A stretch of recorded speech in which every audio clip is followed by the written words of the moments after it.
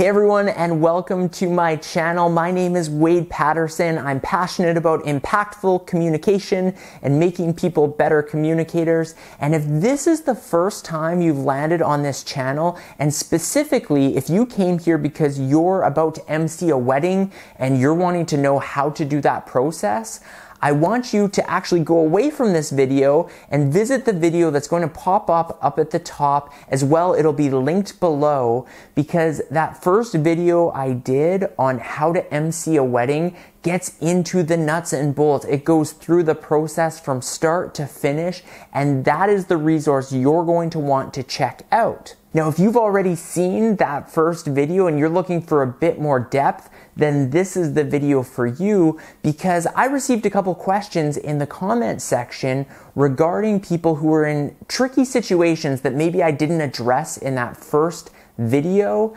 The purpose of this video is to help out those individuals as well as anyone else who is in the same shoes as those people. So the first question I received came from Tiz, and Tiz said, First of all, thank you for these tips. Now, getting to my question, I've been asked to MC a wedding reception coming up on Monday, which is four days from now. Not a lot of time to prepare for MCing a wedding. The thing is, I don't know the bride or groom personally. The bride's father is friends with my father and hence asked me to do it. So I have absolutely no information regarding the bride and the groom, and it's a wedding that the parents are in charge of more than the couple themselves.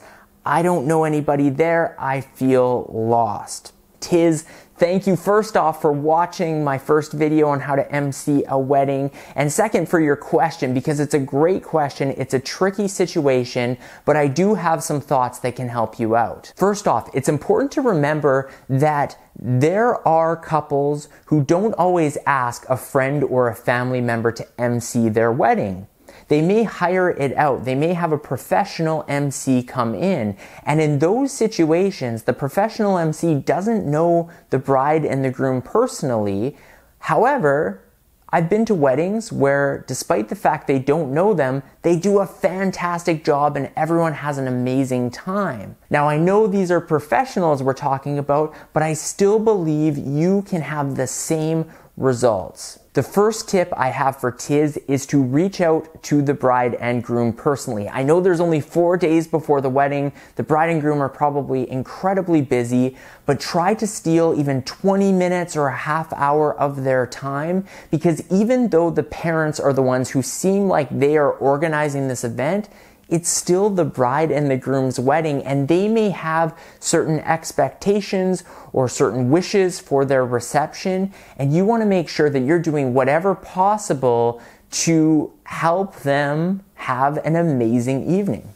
In the first video, I suggest that you give the bride and the groom homework, things like writing up descriptions of each member of the wedding party. And in Tiz's situation, it sounds like that may not be as feasible because they probably have a lot to worry about with four days until their wedding. Therefore, they may not have time for that sort of thing. The advice to Tiz is to go in prepared. The, many brides and grooms don't know what they want specifically from their wedding reception. They are looking actually to the MC to provide a lot of that information of how they should go through it. So it's always a great idea to have the approach of asking the bride and groom what they'd like to see, and then if they ask you for your advice, be ready to come with some ideas or some, suggestions of how that evening could work.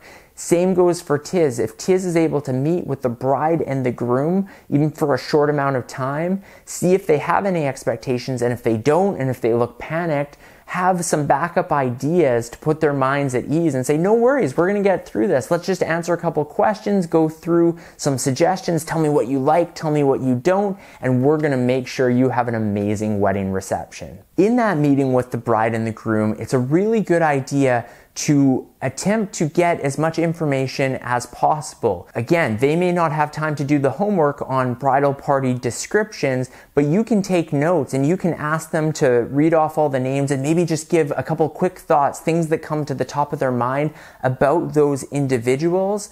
Write those notes so that when you, as the MC, are introducing the wedding party, you're not just saying a name, you actually have a little fun fact or information about each person. It's going to make the audience happy because everyone who's attending the wedding, they'll get to know a bit more about the bridal party, but it'll make the bridal party feel special as well. That they are not just having their name called, but a little bit of special information being shared with them for the whole group. Another thing Tiz or anyone in this situation is going to want to do is find out who the bride and the groom would like to see given a special reference or shout out Oftentimes, this includes family members, especially parents, grandparents, or other individuals who have traveled a far way to be there on the wedding day. These special mentions are important because after the wedding party has come in, kind of the grand entrance, they've each been introduced. Perhaps you've given some housekeeping and a bit of a format of how the night is going to go. This is an opportunity to give those special mentions recognized for the entire room, those individuals who the bride and groom really want to get that special recognition and it's going to flow nicely into the evening. Other key essentials that Tiz is going to want to find out from the bride and the groom, and again, this is covered in more depth in my first video on how to MC a wedding, but in Tiz's unique situation where there's a short amount of time, I'm just sticking to the most important parts. Things like when the dinner is going to be and what the bride and groom's preference is.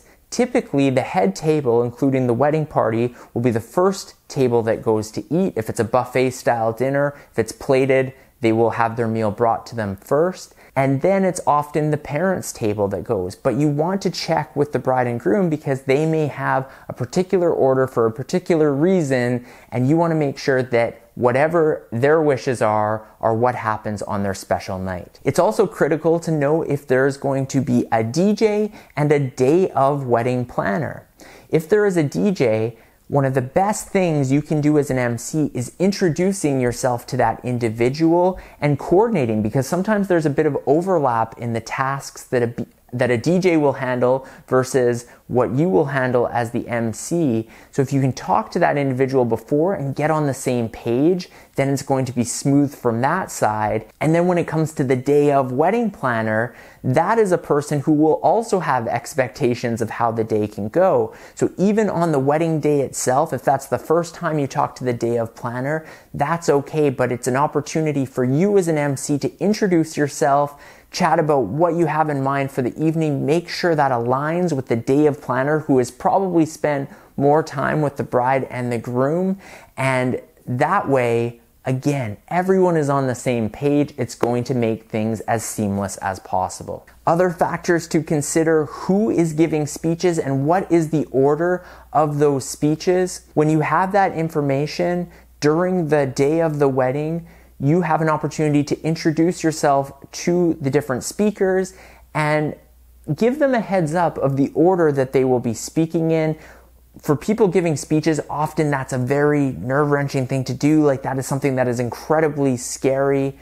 And if you know the order that you're giving a speech in and you've met the MC and there's a little bit of communication, it takes a bit of pressure off of the individuals giving the speech. It helps them relax, which again, it just adds to the overall smoothness and how everything is perceived by those attending the wedding. Is the couple going to cut a cake? Is there going to be a first dance? If there's a DJ, at what point does your role transition and now the DJ is taking over things and you're sort of off the clock? These are the types of questions that Tiz should be asking the bride and the groom if Tiz is able to connect with those individuals beforehand. But let's say, worst case scenario, Tiz is simply unable to connect with the bride and groom for whatever reason that's not possible. How on earth is this going to work? Well, as mentioned in the comment, it sounded like the parents are really the ones leading the charge in terms of organization of the wedding. And if that's the situation, since Tiz has a bit of an in with the father knowing the, the bride or the groom's father, and there's some sort of connection there.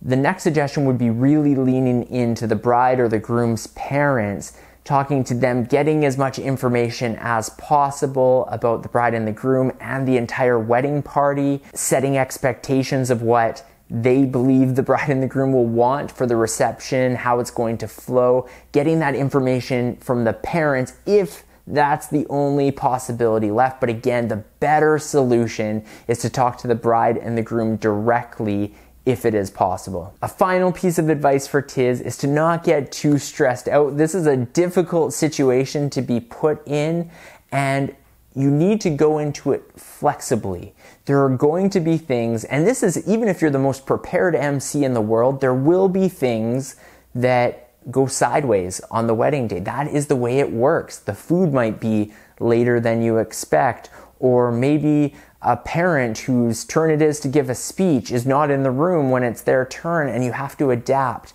That is something that is critical for any MC to be there to enjoy the evening. If you're not having fun, the attendees will be able to see that on your face, and that's not going to make for a very good reception.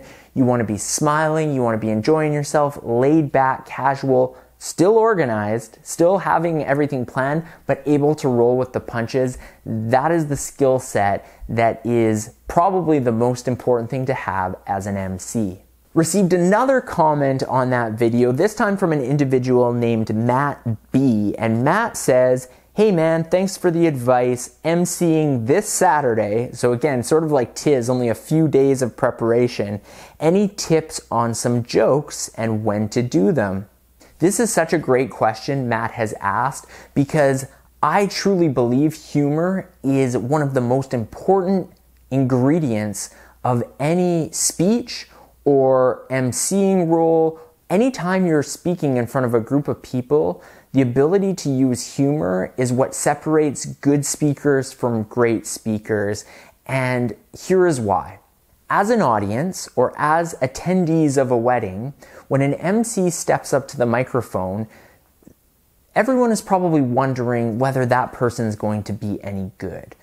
Are they going to be enjoyable? Are they going to make the evening fun? There's going to be some judgment early on the sooner you, as an MC, can help the audience laugh, it's going to relax them. It's going to put their mind at ease. Okay, this MC knows what he or she is doing. Tonight's going to be enjoyable. They've already got me laughing. It's 20 seconds in. Something along those lines. It is powerful. Using humor is so powerful. But what's even more powerful than relaxing your audience is relaxing yourself because emceeing, speaking in front of people in any capacity is a scary thing to do. It is intimidating. It's one of the reasons it's people's greatest fear in the world.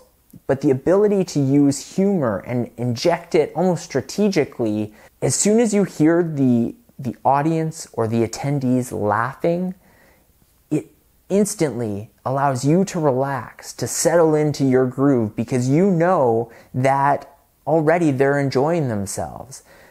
So the tip from Matt here is to try and inject that humor as early as possible. So when should Matt be try to inject that humor in order to get that laughter?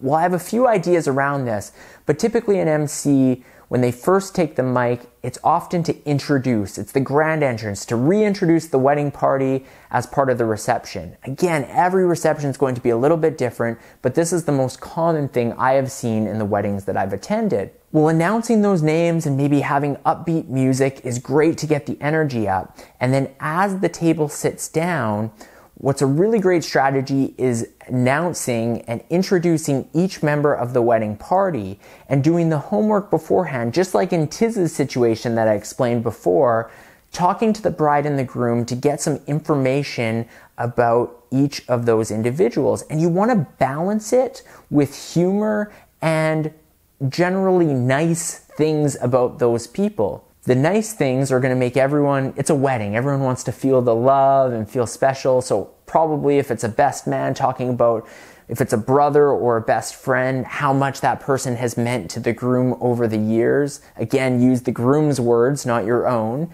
but then get the groom to give you a funny story or something that's a little bit beyond an inside joke so that everyone can participate in the humor of it, but something funny about that individual, a fun fact, maybe something that is odd that they do. Who knows? Something that's going to poke a little bit of fun, but not make them feel upset or uncomfortable.